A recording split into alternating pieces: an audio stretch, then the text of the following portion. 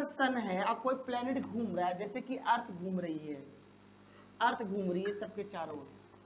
तो दो पॉइंट है। एक एक पॉइंट है सबसे दूर। और एक पॉइंट क्या है? सबसे नज़दीक है। तो जो सबसे दूर का पॉइंट है ना, उसको हम लोग कहते हैं, जो सबसे दूर का पॉइंट है, उसको हम लोग कहते हैं अफेलियन क्या कहते हैं? मतलब फारदेस्ट पॉइंट फारदेस्ट और जो सबसे नज़दीक का पॉइंट है, जो कि यहाँ पर आप देख रहे हो, इसको हम लोग कहते हैं पेरी हेलियन क्या कहते हैं? पेरी हेलियन ये नियरेस्ट पॉइंट है। है ना बाबू